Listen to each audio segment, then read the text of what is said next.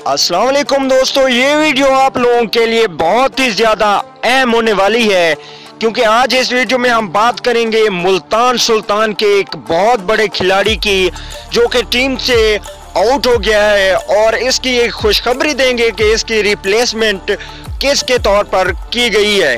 और इस वीडियो को एंड तक देखना है। इस वीडियो में मैं आप लोगों को कुछ शर्जील खान के बारे में भी बताऊँगा।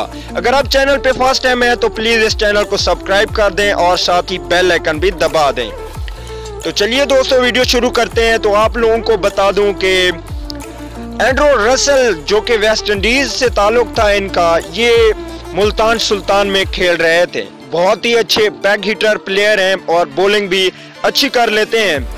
वेस्ट इंडीज की सीरीज़ चल रही थी इंग्लैंड के साथ, जिसके तीन ओडीआई मैच हो चुके हैं और चौथे और पाँचवें ओडीआई मैच में एंड्रो रसल को वेस्ट इंडीज ने बुला लिया है, जिसकी वजह से ये अपने मुल्क चले गए हैं।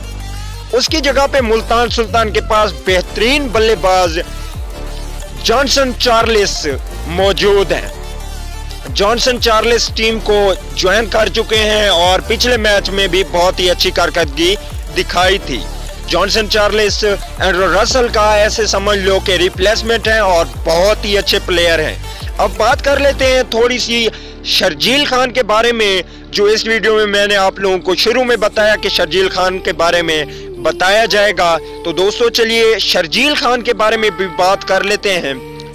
तो मैं आप लोगों को बताऊँ कि मेरी दिली ख्वाहिश ये है कि हम जो वीडियो बनाते हैं उसमें अल्लाह से दुआ है कि एक दिन हमें ऐसा मिले कि हम बोलें कि ओपनिंग पे होंगे शर्जील खान और साथ या फ़खर जमान या इमरान नज़ीर।